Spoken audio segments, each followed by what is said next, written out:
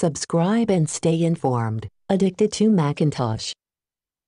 Hi, Microsoft released a new Office app for iPhone on February 19th of 2020. This app brings together Word, Excel, and PowerPoint in a single app. The main benefit of the unified Office app is that it requires only a single download with a much smaller file size, but it does have a few unique features, including camera integration for easily converting photos of documents and tables into Word and Excel files. The app also has a new Actions pane that supports a number of common tasks like signing PDFs and scanning QR codes. It has integrated lens technology to unlock the power of the camera with capabilities like converting images into editable Word and Excel documents, scanning PDFs, and capturing white whiteboards with automatic digital enhancements to make the content easier to read. Also, Microsoft added new functionality for common tasks people often encounter when working on a phone, things like making quick notes, signing PDFs,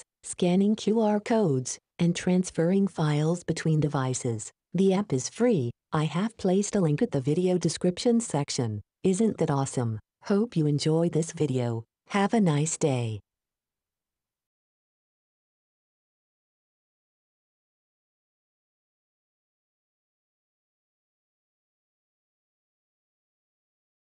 Subscribe and stay informed. Addicted to Macintosh.